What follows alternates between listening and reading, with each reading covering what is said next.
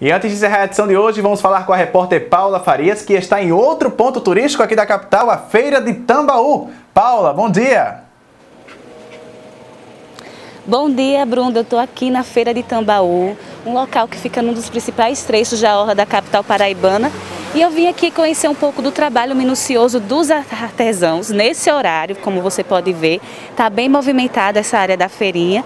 E eu vou conversar com uma das pessoas que está aqui nessa loja de artesanato, já está apreciando alguns produtos e peças artesanais. Bom dia, qual o seu nome? Antônia. Antônio, você é daqui de João Pessoa? Vivo aqui, mas não sou. Sou de Campo Grande, Mato Grosso do Sul. Estou aqui há um mês, vivendo aqui. A gente está falando aqui das peças artesanais. Eu já vi, né, antes de começar o link, que você já estava aqui dando uma olhada. Sim. Pretende levar para a família? Sim, lá da minha cidade, né? Lindo demais as peças e recordação para levar para Campo Grande. Daqui, qual foi a peça que chamou mais atenção? É, gostei muito desse tipo de vestido, que aqui tem a parte tradicional de vocês, né? É característico, Isso. né? O chapéuzinho de couro. É. Bem bacana, isso é bem bonito mesmo. E é marcante, você passa aqui já te puxa para dentro da loja, né?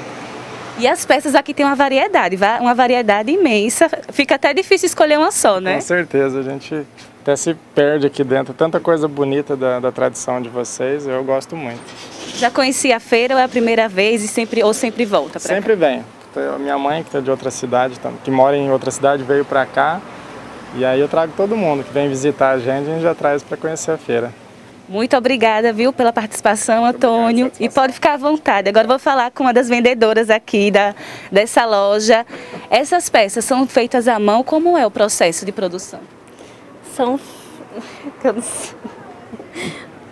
Moça, pode... ela está um pouco tímida, mas a gente quer só valorizar né, um pouco mais dessas peças que são tão lindas aqui. Fala um pouco do processo de produção, é feita à mão ou não é? Não, moça, por favor. Bruno, agora eu vou para outra área aqui da feira, porque aqui o que não falta são peças artesanais e eu quero sim valorizar os artesãos aqui da Paraíba. Vamos lá, deixa eu ver qual a próxima. Aqui. O couro é uma marca registrada aqui na Paraíba, né? O que não falta são sapatos, bolsas, chapéus. Bom dia, tudo bem? Qual é o seu nome? Tereza. Tereza, as peças aqui são em couro. Como é o processo de produção dessas peças? Bom, essas peças são feitas com couro de bode, algumas couro de boi, que são, são reutilizadas, né? O alimento tem a parte da carne para o alimento e o couro na fabricação de, da matéria-prima para bolsas, sapatos, cintos, carteiras, tudo em couro. Quando o visitante passa aqui nessa lojinha, o que eles mais gostam de comprar? Porque tem muita coisa, tem bolsa, tem sapato. É. Bom, mais sapatos, sandálias, que são peças femininas e onde é, o atrativo é maior. Quando eu cheguei aqui, uma das peças que me chamou a atenção foi essa bolsa linda. Como o processo dela é feita à mão? É feita à mão. Aqui é madeira, não é couro, é madeira e é toda processada à mão.